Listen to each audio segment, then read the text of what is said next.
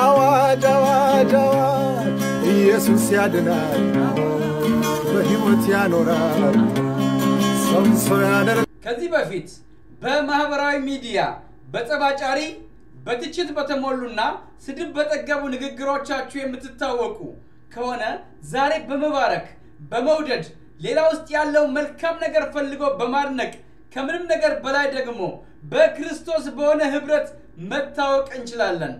በመጽሐፍ ቅዱስ በአንደኛ ጴጥሮስ ምዕራፍ 4 ቁጥር 8 ላይ ፍቅር የኃጢአትን ብዛት ይሸፍናልና ከሁሉ በፊት እርስ በእርሳችሁ አጥብቃችሁ ተዋደዱ ይለናል። እዚህ ላይ ማስተዋል ያለብን ከሁሉ በፊት የሚለውን ኃይለ ቃል ነው። አዎን ከምንም በፊት ፍቅር ይቀድማል። በሌላ ስፍራ እንደምናነበው ፍቅር ከሌለኝ ከንቱ ነኝ እንደሚል ለየትኛው መንፈሳዊ ህይወታችን፣ ለየትኛው መንፈሳዊ እንቅስቃሴያችን ይህ ፍቅር መሰረት ነው። ይህ ፍቅር ሲኖረን ነው ወዳጆቻችንን ስንፍና የምንሸፍነው። ፍቅር የኃጢአትን ብዛት የመሸፍን አቅምና ጉልበት አለው። ስለተሸፈነልን እንሸፍን። በመሸፈን ውስጥ እጅግ ብዙ ትርፍ አለና ወዳጆቼ ወዳጆቼ በመጨረሻም አንድ ማዕድ፣ አንድ ጠረጴዛ፣ አንድ ህብረት፣ አንድ ጌታ እንዳለ አንዘንጋ። በክርስቶስ ኢየሱስ አምኖ የዳነ ሁሉ ወደ ልጁ ህብረት ተጠርቷል።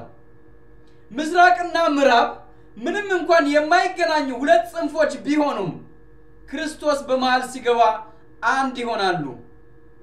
በክርስቲያኖች ህብረት ክርስቶስ ሁልጊዜም አለ። መጽሐፍ ቅዱስ በአንደኛ ቆሮንቶስ ምዕራፍ 1 ቁጥር 13 ላይ ክርስቶስ ደግሞ አንድ ነው አልተከፈለም ይለናል። በክርስቶስ አንድነት ከኛ የሚለዩትን በፍቅር እንጋብዝ። ከአብርሃም ከይስሐቅ ከያዕቆብ ጋር በማዕዱ በመንግስቱ ያገናኘን ወዳጆቼ ክርስቶስ በፍቅር እንደተመላለሰ እኛም በፍቅር እንመላለስ።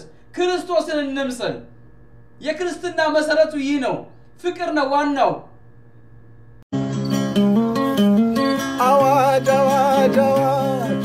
ኢየሱስ ያድናል፣ በሕይወት ያኖራል፣ ሰውን ሰው ያደርጋል፣ ዘላለም ያኖራል።